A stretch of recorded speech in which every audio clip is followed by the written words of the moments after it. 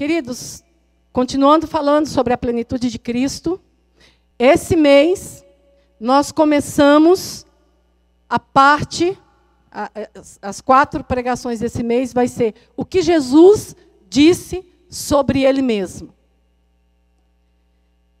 E o título da palavra de hoje é Eu Sou. Amém? Nós podemos ver na palavra de Deus, vocês vão entender daqui a pouco, o que, que Jesus falou dele mesmo nessa palavra que nós vamos ouvir hoje, que eu vou ter que reduzir ela assim por 20% só. Nós podemos ver que uma das maiores preocupações de Deus, depois da queda do homem, foi traçar um caminho para o seu povo. Foi fazer o seu povo andar por um caminho. Quando você vai ver a palavra de Deus, o tempo todo a preocupação dele é traçar um caminho, é indicar o caminho, é indicar a direção.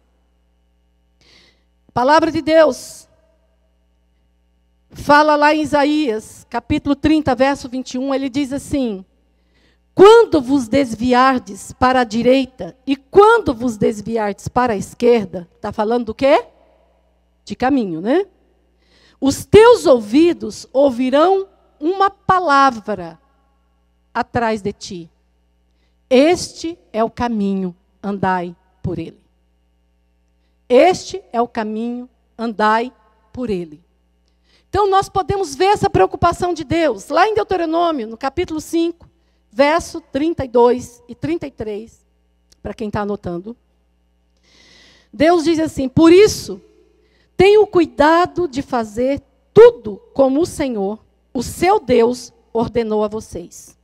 Não se desviem nem para a direita, nem para a esquerda. Andem sempre pelo caminho que o Senhor, o seu Deus ordenou a vocês. Qual é o caminho? O caminho que eu escolho? Não, o caminho, andem pelo caminho, é bem claro e é imperativo. Andem pelo caminho que o Senhor, o seu Deus, ordenou a vocês. Para que tenham vida, tudo vá bem com vocês e os seus dias se prolonguem na terra. Olha que interessante. Uma, um, dois versículos tão pequenos e que resumem tanta coisa. Eu vou ler novamente. Por isso, tenham cuidado de fazer tudo como o Senhor, o seu Deus, ordenou a vocês. Não se desviem nem para a direita, nem para a esquerda. Ne, é, andem sempre pelo caminho que o Senhor, o seu Deus, ordenou a vocês, para que tenham vida e tudo vá bem com vocês, e os seus dias se prolonguem na terra da qual é, tomarão posse. Então, olha aqui, ó. Primeira coisa, primeiro conselho de Deus, ele diz assim: tomem cuidado. Por que tomem cuidado? Porque há o inimigo da nossa alma, ele trabalha o tempo todo para nos desviar desse caminho. E aí, o primeiro conselho de Deus é: tome cuidado. Tome cuidado, tenham cuidado de tudo que o Senhor ordenou. Qual é a ordem de Deus para mim? Qual é a ordem de Deus para você? E ele diz: não se desvie, nem para a direita e nem para a esquerda. Sigam a verdade, sigam a minha ordem.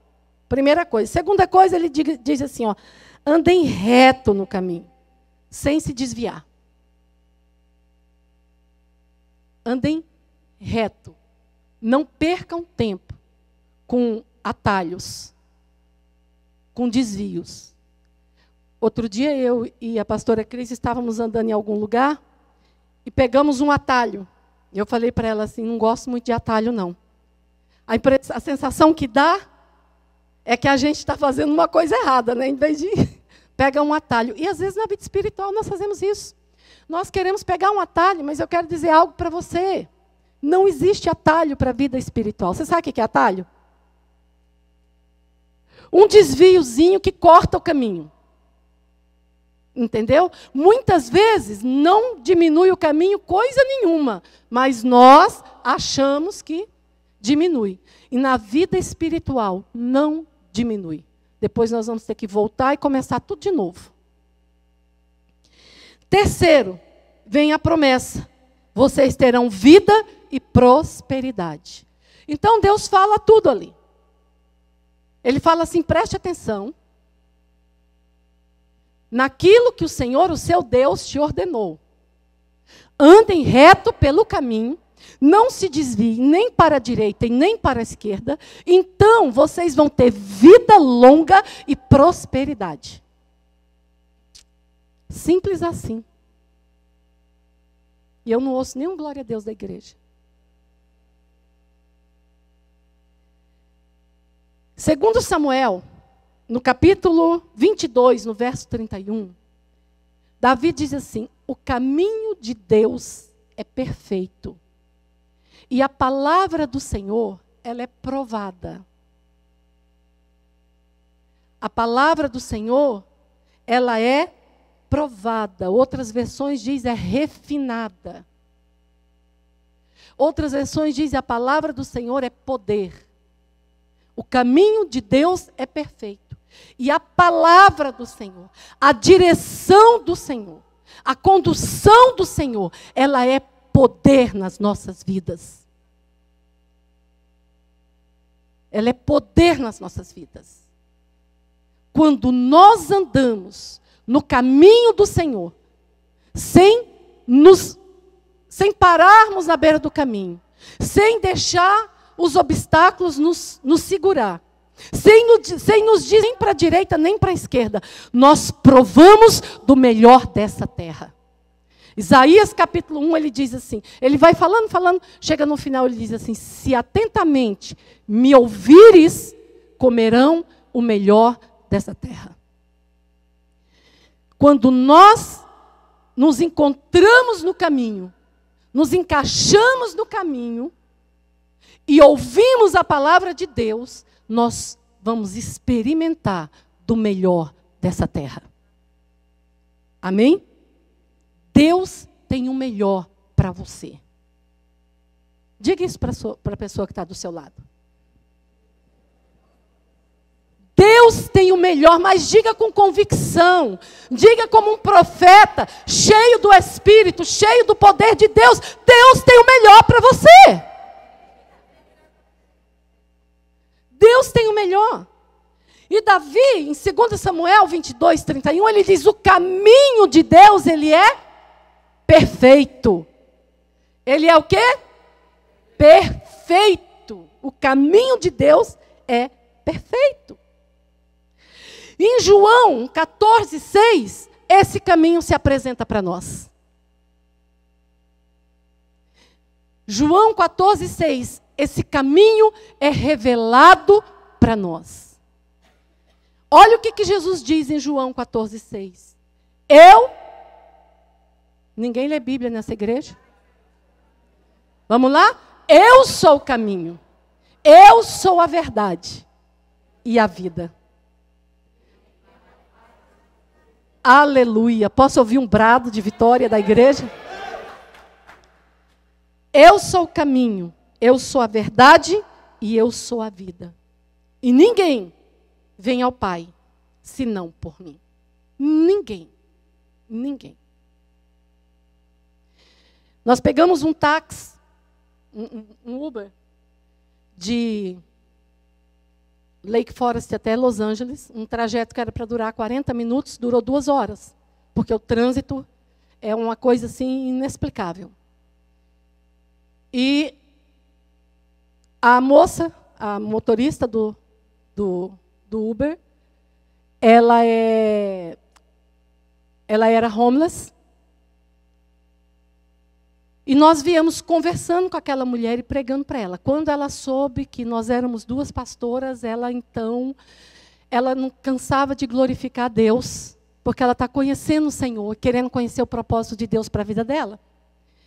E ela glorificava Deus e falava assim que, que era propósito de Deus a gente estar tá ali com ela e nós podemos ir respondendo vários questionamentos dela.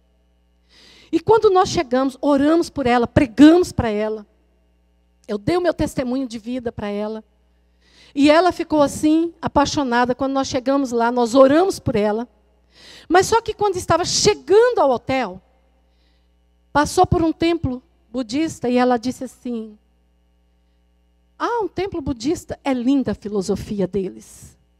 É muito linda a filosofia deles. E sabe aquela coisa assim que emenda o assunto e não deu para falar nada para ela? Como eu peguei, pegamos o número de telefone dela, e-mail, tudo, e eu já estou me comunicando com ela, pregando para ela por text message. Isso é melhor para mim do que falar. Eu já mandei imediatamente para ela. Que a filosofia de Buda pode ser muito boa, mas não leva ninguém a Deus. Eu mandei para ela há um só caminho que leva para Deus.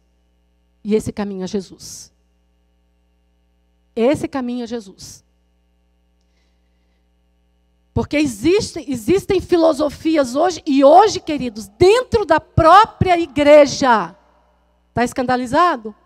No meio dos crentes, no meio dos remidos de Deus, se acredita num tanto de porcaria. E o que há de desvio hoje não está escrito. Hoje você vê pastores, você ouve pessoas pregando heresias, dizendo coisas que ao invés de levar as pessoas para o céu, está levando para o inferno. Há um só caminho, há uma só verdade e há uma só vida. E esse caminho é Jesus. Então, o que Davi diz em, em, em 2 Samuel 22, quando ele diz assim: o caminho de Deus é perfeito e a palavra do Senhor é poder, ele estava falando de Jesus. Jesus é o Verbo que se fez carne. Ele é a palavra de Deus viva. Quando Jesus vem, e o contexto aqui era: Jesus estava falando do momento de tribulação que os discípulos iam passar. Ele estava falando que ele ia para o Pai, mas que ele ia preparar a casa, que lá havia muitas moradas. E que ele ia preparar. Os discípulos, um deles olha para ele e fala assim: Senhor, nos aponta o caminho. Nós não sabemos, nós não conhecemos o caminho. E aí ele diz para os discípulos: Eu sou o caminho. Eu sou a verdade. Eu sou a vida. Olha que coisa mais linda. E ninguém vem ao Pai senão através de mim. Queridos, nós não vamos a Deus através de uma bela pregação. Nós não vamos a Deus se nós cantamos, porque nós cantamos bonito, porque nós levantamos as mãos. Só existe um caminho que nos leva para Deus, esse caminho é Jesus. É aquilo que nós estamos aprendendo lá na sala. É ter o caráter transformado no caráter de Cristo. É estar em Cristo e Cristo em nós. Amém? Amo, amo o que Paulo diz. Cristo em vós, esperança da glória. Cristo em vós, esperança da glória. Há uma só esperança. Deus. Deus começou a se revelar como eu sou para Moisés, lá em Êxodo 3, na sarça ardente. E ele continuou se revelando como o eu sou. No Evangelho de João, nós vemos por sete vezes Jesus se apresenta como eu sou. Eu sou. Ele diz: Eu sou o pão e a água da vida. Ele diz: Eu sou a luz do mundo. Eu sou a porta. Eu sou a videira verdadeira. Eu sou a ressurreição e a vida. E eu sou o caminho, a verdade e a vida. Nesse aqui, ele é três em um: caminho, verdade e vida. Nós não temos vida nele se não andarmos nele e não obedecermos à verdade que é ele. Amém? Eu fico olhando aqui para ver o que, que eu posso tirar do meio para não atrasar o culto. Primeira coisa que ele diz, ele diz assim: Eu sou o caminho. Que caminho? Ele, ele diz: Ninguém vem ao Pai senão por esse caminho, senão através de mim. Ele está dizendo: Eu sou o caminho da restauração, eu sou o caminho da cura, eu sou o caminho da prosperidade. Se você andar em mim e eu em você, olha o que, que a palavra, o que, que ele diz em João 7, João 15. Se você estiver em mim e eu estiver em você, pedireis o que quiserdes e vos será dado. Se vocês estiverem em mim e eu em vocês, vocês vão pedir o que vocês quiserem e vos será dado. E vos será dado. Ele é o caminho da conquista. Ele é o caminho, queridos, que nos leva para a abundância de Deus, para o melhor de Deus. Ele é o caminho. A Daniela e o João acabaram de ficar noivos aqui. Mas nenhum dos dois, nem ele é caminho para ela e nem ela é caminho para ele. Eles têm que se juntar os dois para andar no caminho.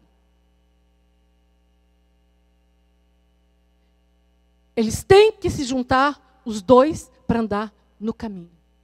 Só que tem algo. Uma, um versículo que todo mundo conhece. Andarão dois juntos, se não houver entre eles acordo?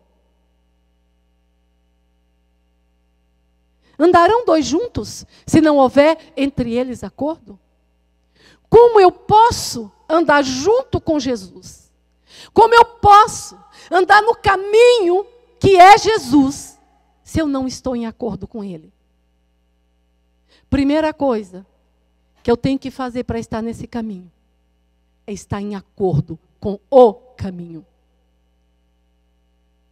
Amém? Senão, eu vou achar que eu estou andando com Jesus, mas eu não estou. Eu vou pensar que eu estou, eu vou pensar que eu estou porque eu estou aqui tocando, eu estou cantando. Eu vou pensar que eu estou porque eu estou pregando. Ou eu vou pensar que eu estou porque eu estou é, sendo fiel no dízimo na oferta. Nós não podemos obedecer a palavra de Deus parcialmente. Eu sou o caminho e eu sou a verdade, diz o Senhor. Muitas vezes eu gostaria de vir para esse púlpito e pregar aquelas palavras assim que todo mundo gosta de ouvir.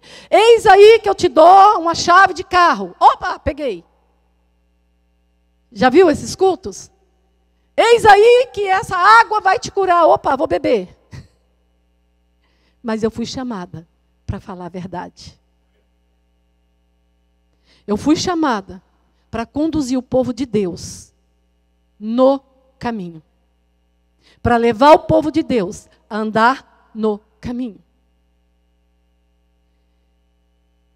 Nós precisamos entrar em acordo com a palavra.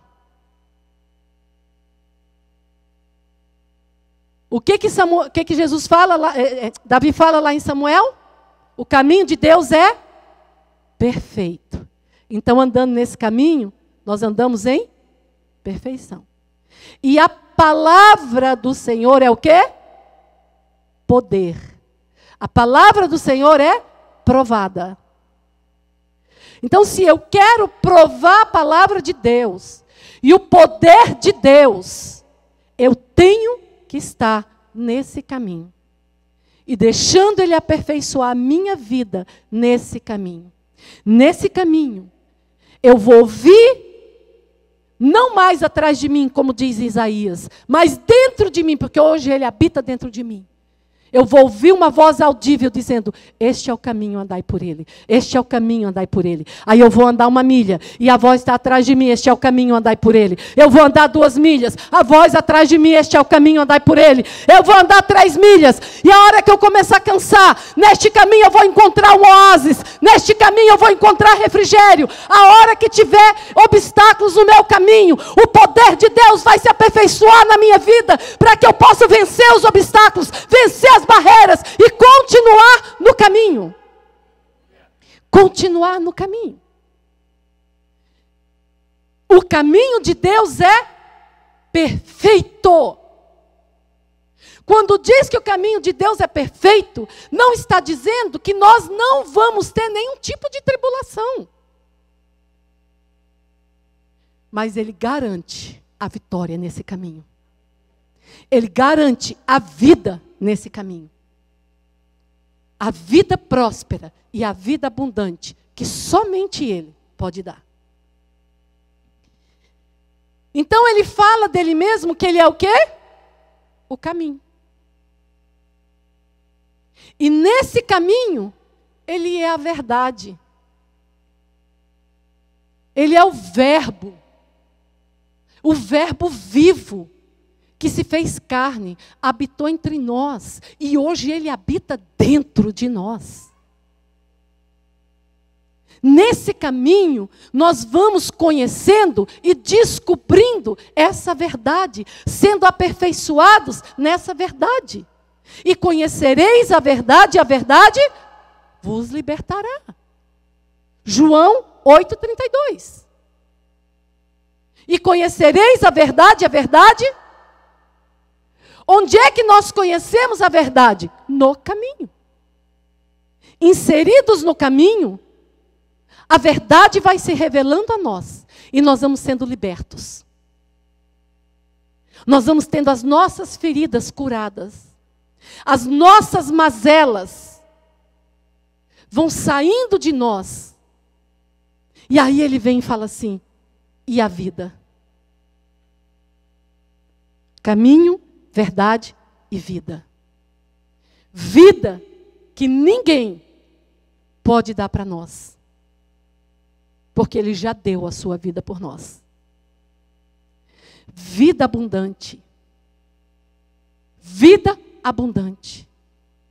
Com essa vida abundante, você pode dizer assim: ah, mas eu não vou ter mais nenhum tipo de tribulação? Tem. Mas você tem uma garantia. No mundo passais por aflição, mas tem de bom ânimo. Eu venci o mundo. Ele venceu o mundo. Ele vence as nossas dores. Ele vence as nossas fraquezas. Ele vence as nossas tribulações. Com a vida dele em nós, nós temos paz. Mesmo no meio do caos, nós temos paz. Ele diz: Eu vos dou a paz. A minha paz eu vos dou. Então, quando nós nos encaixamos nesse eu sou, preste atenção, esse mês todinho nós vamos estar falando sobre o que Jesus falou dele mesmo. Ore durante a semana. Ore nos, nos, grupos, nos pequenos grupos, para que o, o Espírito de Deus te traga revelação de quem Ele é. Nós precisamos crescer em revelação. Nós não podemos parar estagnados num lugar. Tivemos um nível de revelação até aqui. A partir daqui, nós precisamos crescer em revelação, em, em profundidade. Amém, queridos? A vida de Deus em nós, ela tem que ser viva. Viva. E um vivo, ele se alimenta. Amém? Um vivo, ele, ele busca recursos para viver mais ainda. E a vida espiritual nossa tem que ser alimentada. E nós temos que começar a buscar recursos para viver mais ainda. Como que nós fazemos isso? Conhecendo o Senhor dia após dia. Em Oséias, ele diz assim: conheçamos e prossigamos em conhecer o Senhor. Conheçamos e prossigamos. Esse prosseguir em conhecer o Senhor vai nos trazendo revelação e profundidade nele. E aí você vai tendo experiências com ele. E aquilo que ontem te afligia, hoje já não te aflige mais. Aquilo que ontem era um problemão para você, hoje quando você vê ele, você fala assim: Ih, com meu Deus eu salto muralhas. Com meu Deus eu desbarato exércitos. Porque o meu Deus faz os meus braços tão forte que eu vou vergar um arco de bronze. Eu estou no caminho. E nesse caminho quem vence as minhas guerras é o Senhor. Nesse caminho quem vence as minhas batalhas e as suas batalhas é Ele. Ele vence qualquer batalha, pode ser de pecado, de medo, de aflição, de angústia, de pobreza, de qualquer... Ele vence as nossas batalhas. Uma hora você vai ter vitória.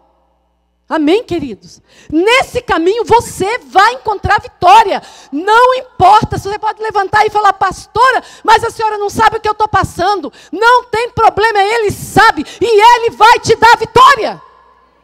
Vai te dar vitória porque você está no caminho. A verdade dele vai se revelar. E nesse caminho você vai encontrar a vitória de Deus. Nesse caminho você vai ver a vida. A vida. Eu sou o caminho, a verdade e a vida. Eu sou o caminho, a verdade e a vida. Eu sou a ressurreição e a vida. A ressurreição e a vida.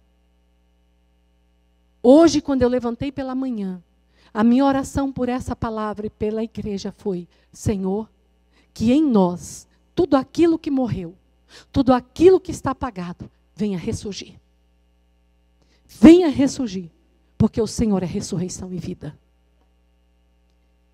Que venha ressurgir os sonhos, que venha ressurgir a esperança, que venha ressurgir.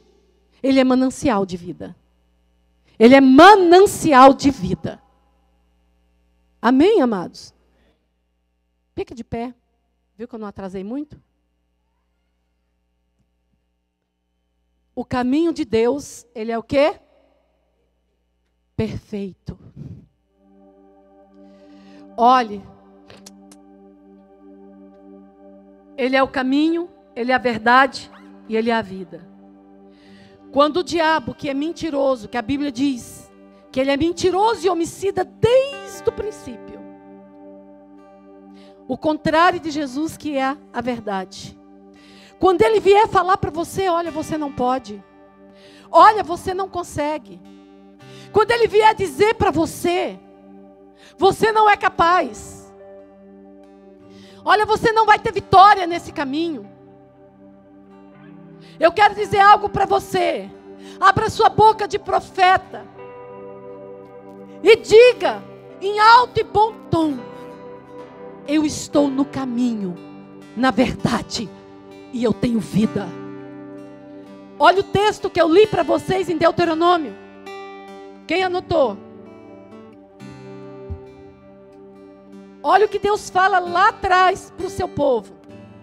Ele diz assim: Por isso, tenham o cuidado de fazer tudo como o Senhor, o seu Deus, ordenou a vocês.